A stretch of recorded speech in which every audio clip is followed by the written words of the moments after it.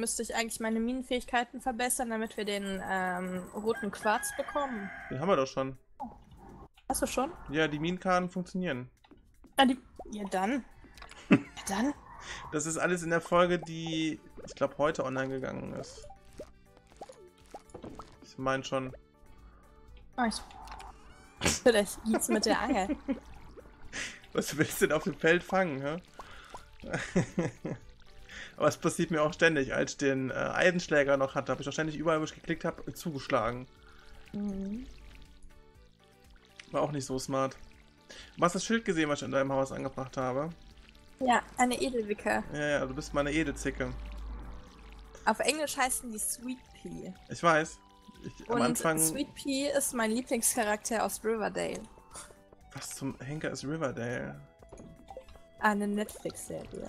Ach so. Hashtag Werbung durch Namensnennung. Hashtag Werbung durch Namensnennung. Nee, also worum geht's da?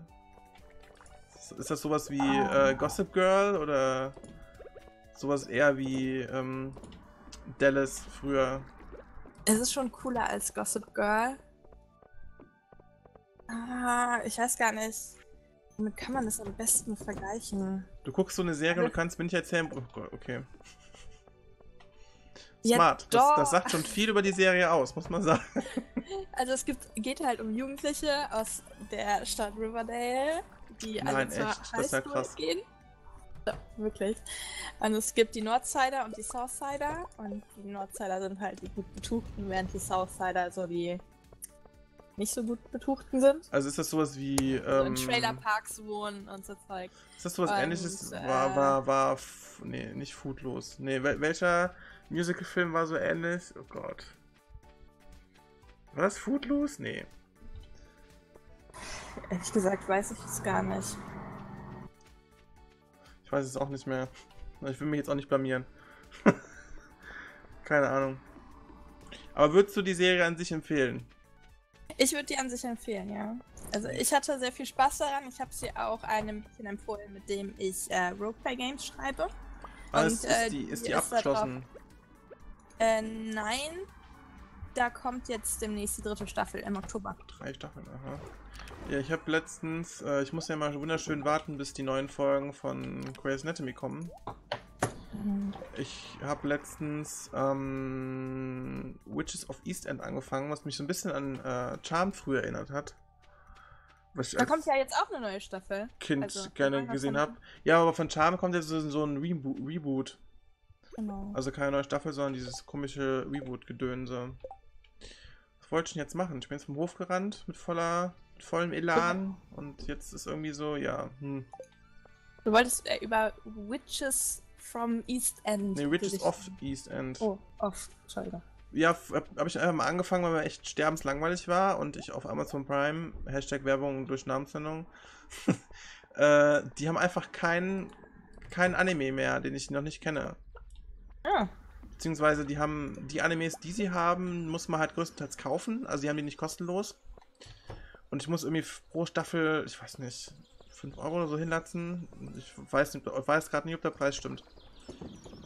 Und ähm, nee, wäre mir zu doof, zu doof gewesen, äh, so viel Geld auszugeben für so viele Staffeln. Ich wollte, eigentlich wollte ich nämlich Yu-Gi-Oh! nochmal neu gucken. Nach oh. der ganzen Zeit. Ju- Jetzt ist das bei Netflix? Wir haben kein Netflix. Ah. Wir haben nur Prime. Wir haben schon überlegt gehabt, Netflix uns zu holen, aber ja. Und auf jeden Fall habe ich dann halt ein bisschen durchgeskippt und alles und habe halt äh, verschiedene Serien angegeben, die ich halt früher gerne geguckt habe, sowas wie Cold Case oder Criminal Intent oder Law and Order. Oh ja. Gab es natürlich entweder nicht bei äh, Amazon Prime oder musstest du auch für bezahlen. Wo ich mir dachte, so, ne, sehe ich nicht ein. Ich irgendwie keine Lust drauf. Und dann habe ich ähm,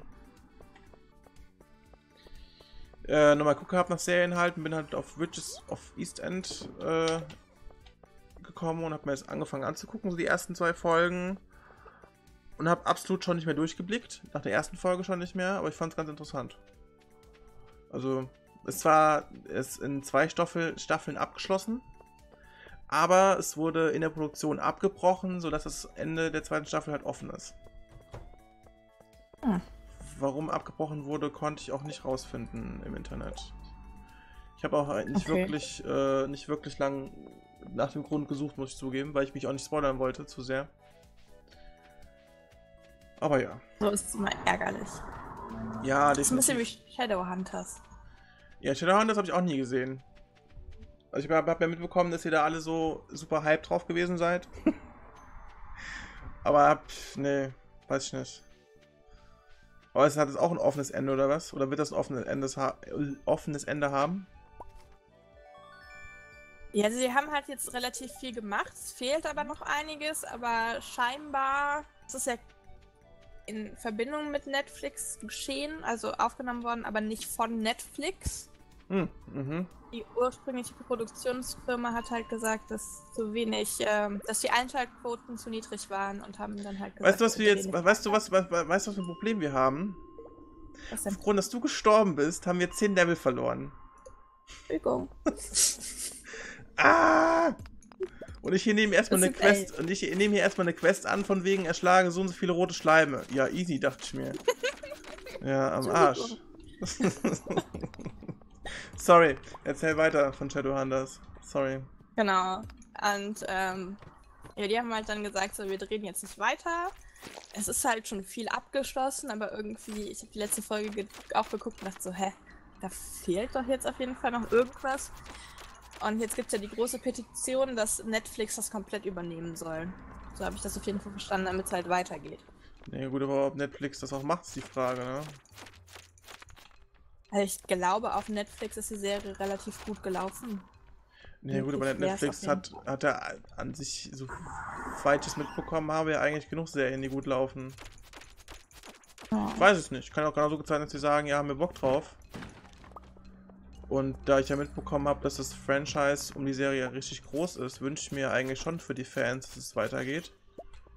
Weil ich glaube, ich würde auch ziemlich doof aus der Röhre gucken, wenn Grey's Anatomy auf einmal aufhört, ohne ri- richtiges Ende. Fände das auch blöd. Wobei du hast da wie viele Staffeln? Elf? 14. 14. 14. Ja, und die und, äh, 15. Shadowhunters- wird Anfang September in Amerika angefangen auszu... Fängt an im September in Amerika ausgestrahlt zu werden. Ja. Ja, aber ich finde, es ist auch, wenn die Serie schon ewig geht, ich finde es nicht langweilig. Ehrlich nicht. Aber es liegt halt auch einfach an meinem Interesse an den Fällen, auch die die haben. Also jetzt nicht nur den, die, ähm, den Hauptpunkt auf die Beziehung und diesen ganzen Gedöns, was die da haben, zu legen. Ich finde auch die Fälle ganz interessant. Und auch den Humor. Also ich mag den Humor, den die Serie auch äh, nutzt. Unheimlich. Ja, also ich habe noch nicht so viel Grey's Anatomy geguckt, aber das, was ich geguckt habe, hat mir natürlich auch gefallen. Natürlich. Natürlich. Ja. Keine Ahnung. Das früher durch meine Mom halt mit- mitbekommen mit Grey's Anatomy und dann halt irgendwie jahrelang aus den Augen verloren. Und irgendwann kam ja das große, äh, ich schaue nochmal alles an, um auf den neuesten Stand zu kommen. Ja, und ich glaube mittlerweile habe ich die Staffeln 1 bis 11, glaube ich, boah, lass mich lügen, fünfmal durchgesehen. Glaube ich. Ich weiß es nicht. Aber es kann gut sein. Da die ja bei Amazon Prime kostenlos angeboten werden, kann das gut sein. Dass die so oft Immer, äh, die einzige Serie, die ich immer und immer wieder gucke, ist RuPaul's Drag Race. Das hat mich auch noch nie wirklich gecatcht. Ich habe mitbekommen, dass es super viele so interessant finden. Aber ich kann mir da irgendwie nichts dran abgewinnen. Ja, es ist halt ein bisschen wie Germany's Next Topmodel, nur viel, viel besser. Ja, siehst du, und Germany's Next Topmodel geht absolut gar nicht für mich. Ja, aber die Sache ist halt, die setzen da jetzt nicht so, du musst mega dünn sein und so, sondern du musst halt kreativ sein. Vielleicht eher, es gab doch auch diese, die, ähm, diese Serie, wo du, wo so Designer waren. Eher so in die Richtung. Es gab eine Serie, wo Designer waren. Mhm, okay. Keine Ja, Ahnung. Also verschiedene Designer Sachen designen mussten und das wurde dann auch immer bewertet und der irgendwer hat dann am Ende gewonnen. Ah. Das ist also wie jeglicher andere TV-Blödsinn. Ich gucke halt seit Jahren keinen Fernsehen mehr, also von daher, keine Ahnung. Einzigen Gründe, warum ich Fernsehen gucke, ist äh, meistens zu äh, Orison Song Contest. Und wenn irgendwas anderes Wichtiges ist, wie zum Beispiel letztens bei den Wahlen haben wir halt ein bisschen uns Input geholt übers Fernsehen, was zwar auch nicht unbedingt gerade die smarteste Idee gewesen ist, weil es Fernsehen ist, aber ja, geht schlimmer. Ja. Also ich gucke Fernsehen um Autopsie und äh, ja, heißt das nochmal? Criminal. Nee. Medit Medit Medical Detectives. Detectives. Genau. Selbst das gibt's nicht bei Amazon Prime. Ich war so frustriert. Ich hätte so Lust darauf gehabt, wieder so ein bisschen was, ja, so eine ein bisschen mehr mysteriöse Serie zu sehen. Meine letzte in der Art war halt Lost und das habe ich auch schon vor anderthalb Jahren, zwei Jahren die letzte Folge gesehen. Und dann weißt du, dann suchst du Medical Detectives auf Amazon Prime. Nichts. Gibt's nicht mal. Es gibt die nicht mal da. Also es ist jetzt nicht so, als hätte ich dafür zahlen müssen, sondern es gibt die, es gibt die da einfach nicht. Die ist non-existent. Sie ist wie Bielefeld. Mega, mega frech einfach. Absolut mega frech, dass es das halt einfach nicht bei Amazon Prime gibt. Ja, und so kam ich halt irgendwann halt auf Witches of East End, weil ich halt äh, dachte so, nee, ich will eigentlich schon ein bisschen was mit Mysteriöses, mit Drama und so Gedöns gucken und äh, ja, fand ich gut. Also hat, hat auch den richtigen Art von Humor, den ich bevorzuge bei solchen Serien. Vor allen Dingen, vor, vor allen Dingen, von daher.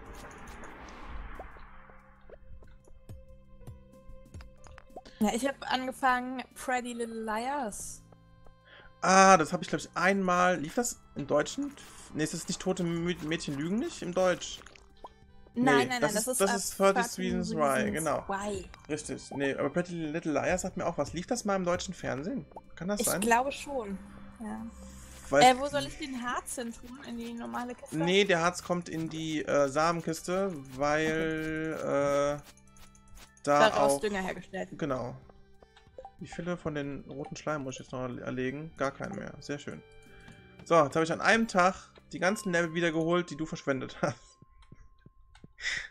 Wir sind ein gutes Team. Ich war kaputt und du machst es wieder hin. Ja, toll. Ja, so kommen wir aber nie ans Ende von der Mine, wenn wir so weitermachen. Nein, ich habe heute ähm, oben mal angefangen bei Level 5 und vielleicht level ich ja jetzt ein bisschen auf. Ach, du warst auch in den Minen? Ja. Ich gar nicht mitbekommen. Ich finde es auch gut, dass ich jetzt, wenn ich alleine aufnehme, bin ich in den Minen immer total konzentriert und angespannt. Und um, um es halt zu schaffen. Jetzt aber gerade kann ich mich super mit dir unterhalten und krieg's trotzdem hin, in den Minen nicht abzukacken. Das ist mega lustig. Ich weiß, ich nicht, denke, ich weiß nicht, warum ich mich im Singleplayer so, so darauf fokussiere, obwohl es im Multiplayer auch so funktioniert. Ich denke, so zwischen uns läuft das Gespräch halt einfach weiter. Und wenn du halt alleine bist, musst du halt die ganze Zeit, was will ich sagen, was will ich sagen, was will ich sagen, was könnte ich dazu noch sagen? Und das, äh, dass das einfach viel mehr einen Anspruch nimmt. Das kann sein. Das ist gut möglich. Alter, was war das denn? Lass mal deinen Tisch stehen. Ja, das war meine Tasse. Die stand äh, auf Kipp. Auf Kipp? Auf Kipp. Auf Kipp. Auf der Schere drauf. Aber du bist schon im Bett, oder was? Ja, ich bin im Bett, ich warte auf dich. Ja, ich eile, ich eile, ich eile. Ich jetzt nämlich auch. Ich muss was trinken hier, sonst bricht mir meine Stimme gleich weg. Ugh. Die Flasche tropft wieder. Ach so Gott, Kampfstufe 5. Wähle einen Beruf. Kämpfer, alle Angriffe verursachen 10% mehr Schaden. Ja. Ich finde diese Wahrscheinlichkeit eines, griffisch, eines triffischen Kretters, mh, eines kritischen Treffers um 5% erhöht, finde ich Schwachsinn. Gott. Ja.